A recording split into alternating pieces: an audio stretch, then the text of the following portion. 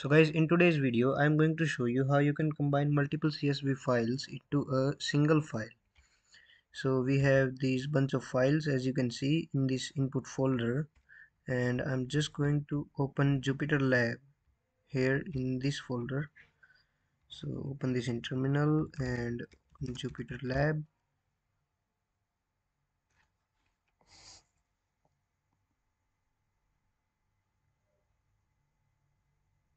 okay so I'm going to create a new file here. It's named untitled and the two libraries that we need for this are OS and pandas. These are the two libraries that we need. I'm just going to import them. So we need OS for reading the files inside this folder and pandas for combining them so first of all we are just going to read the file. So i'm just going to create an object called files and we can use os function list dir which is list directory and we can pass the path here which is input. So what this will do is this will get us all the names of the files inside this folder. I guess we have to use one more slash here and I'm just going to print the file names.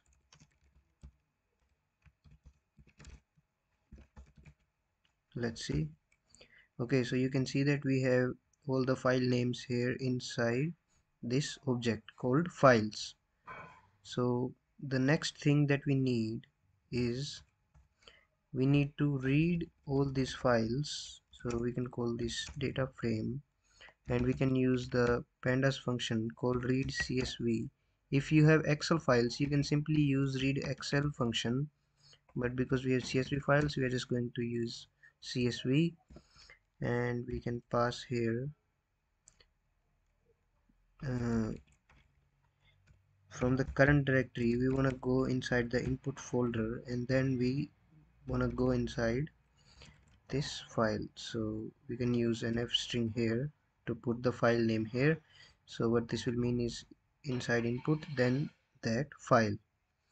Okay so this will read the file and we can create an empty data frame here. We can call this main equals pd dot data frame. So this is the empty data frame and we can append these dfs which are gonna be created every time it reads a new file.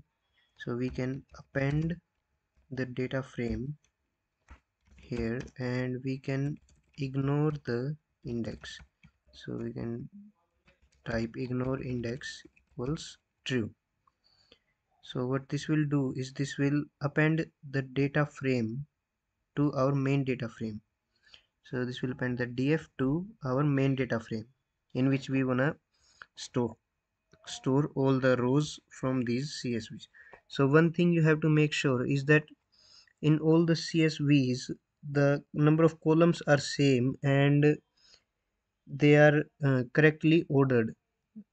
Same i mean the order of the columns is same in every single file. Okay so this will get us the main data frame.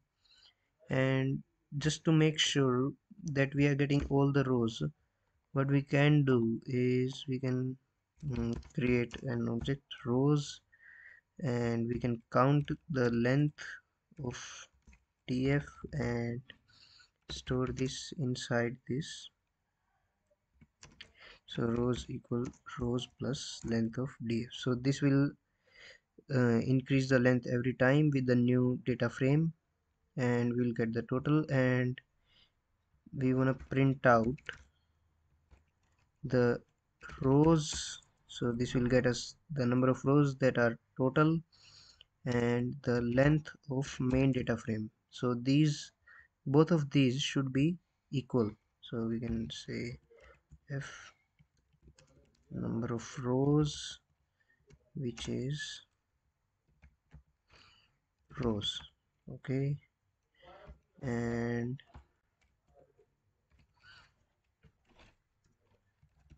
number of and length of main is this.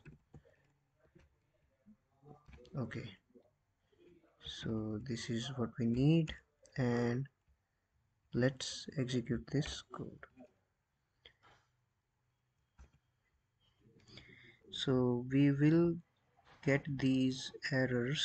So that's not a problem. I mean these are not really errors. These are just warnings that uh, the append method will be deprecated in future. So we don't have to worry about that. And number of rows are okay but the length of main data frame is zero. So there is some problem here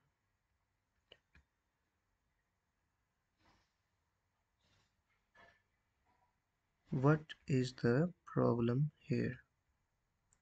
You can see that it is inside input folder. Everything is good. Let's print out main data frame and see what we are getting. Okay so it is empty. Okay I guess main equals main dot append I think this is what we should do. Yeah. So now you can see that number of rows and length of main both are the same. And now we can print this out. We can see that all the data is combined and we have all the rows in a single data frame.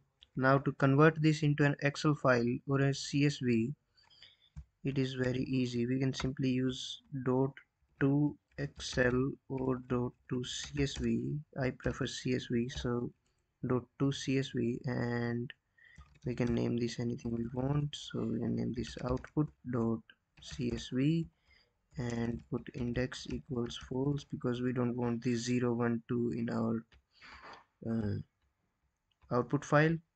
So I'm just going to execute this and you can see that we have an output.csv and we have all the data that we need.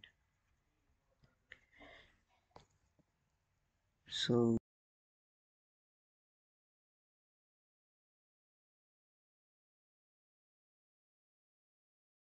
so i guess that's it for this video. Thank you for watching guys. And if this video helped you you can subscribe to the channel for more videos like this because i am going to be uploading more videos very very soon.